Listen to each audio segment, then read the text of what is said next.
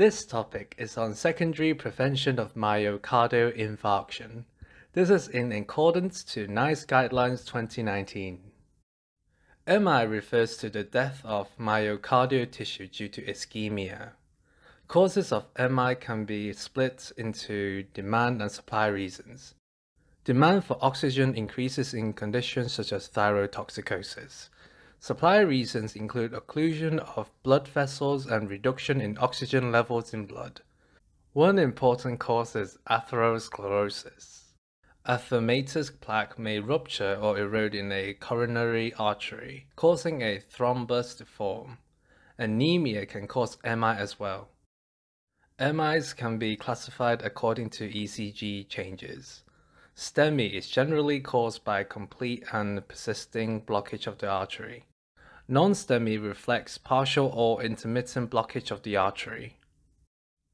Risk factors can be split into non-modifiable and modifiable. Non-modifiable factors include male gender, older age, lower socioeconomic status, and family history. Modifiable factors include obesity, hypertension, smoking, high cholesterol, diabetes. Complications of MI include heart failure.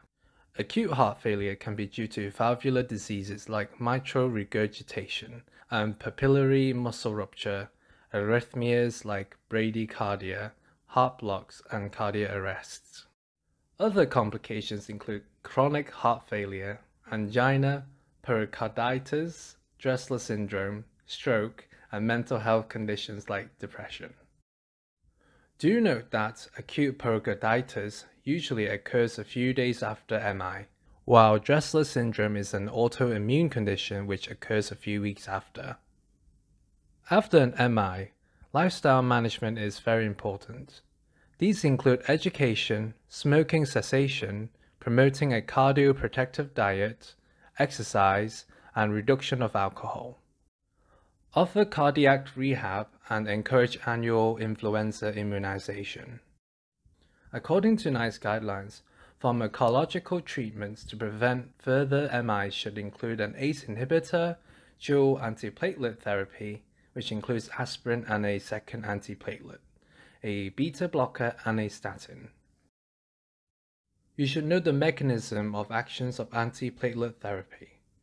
Aspirin causes irreversible inactivation of the COX enzyme, which reduces prostaglandin synthesis, reducing inflammation.